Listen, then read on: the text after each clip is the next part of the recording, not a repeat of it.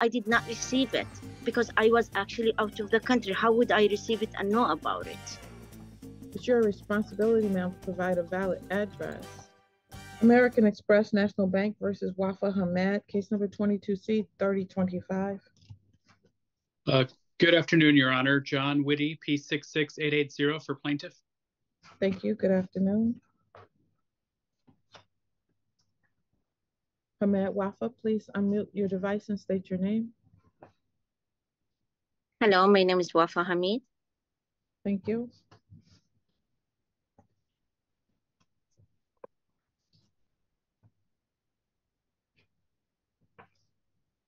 All right, we're here um, on your objection to the garnishment in this particular case. And um, she's alleging that she never opened this account and that she has a police report regarding this matter.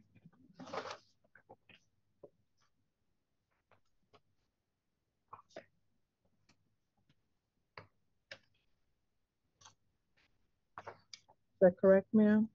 Yes, ma'am. I never opened this account.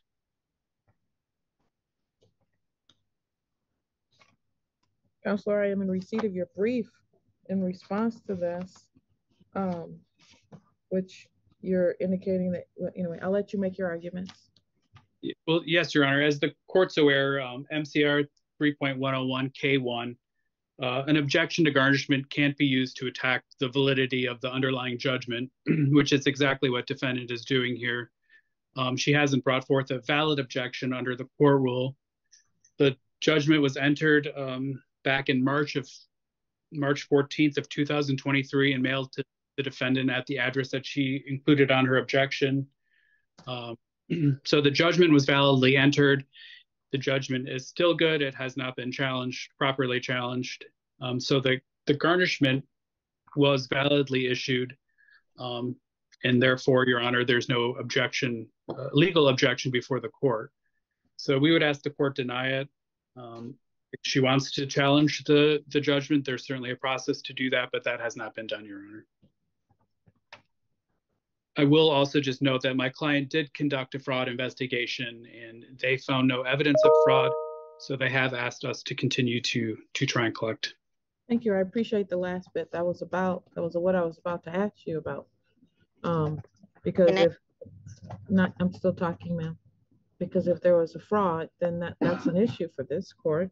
Um, in this particular case, this this action was started uh, back on um, back in January of 2023, and well, actually, you were served in January of 2023. They say they served you by registered mail and certified mail um, to one moment. See if it's the same address. Same address. The only rental nine apart from the net cost of labor in my car. But it would cost me twenty dollars, they just got them. To the same address that are on your objections here. Why, why didn't you respond way back then, ma'am? Ma'am, I live outside the country most of the time. I come only if when my mom is sick or if I have short work that I do in here. So I have a proof that I was out of the country. I never applied to this. I am not even aware that somebody applied this and used it on my behalf. So that's why I I have this objection. And if they're saying they sent any mail, I did not receive it because I was actually out of the country. How would I receive it and know about it? It's your responsibility, ma'am, to provide a valid address. And so if that's the address you're using, then you have to check your mail. But ma'am, this I never applied for this credit card. I never used it. I'm not even aware that there is American Express. All right. I have- well, the court rule says, ma'am, that if you have been provided with proper service, which you have been provided with proper service, since that's the address that you're still using at this time, then you become responsible for that when you do not respond. I'm sorry, go ahead again.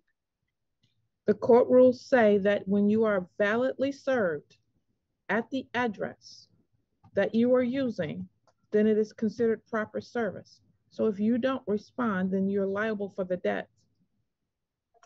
But I wasn't in the country, ma'am. I, I say that three times. My response is still gonna be the same.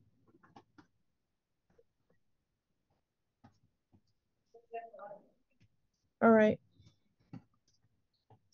Anything else you want to say regarding the objections, ma'am? I, I did not do these charges. I never applied for this card. I, I even I have my passport that it shows when I enter this country and when I leave. So I don't know what to do with this debt. Something that I never used. I applied for fraud. Yes, I went for the police station as I followed the rules of whatever they guide me when I they told me about this dispute. And I am just waiting. What should I do next? Ma'am, this dispute was told to you back in two thousand and twenty-three. The date that you filed for fraud was not until this year. So that is the problem. Ma'am, because I wasn't here, how would I know?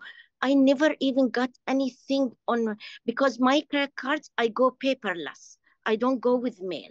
I have only two credit cards that they are mine that I use. Anything else, I don't receive mail at all.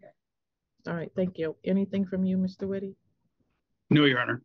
All right, the most, the uh, order on the objection is denied. The, uh, the ruling is, uh, the, the, the argument being made by the def- defendant is not valid based on all the reasons I placed on the record. Thank you, Your Honor. And there was a proposed order. It's the very last page of the response. Thank you. I'm signing an order.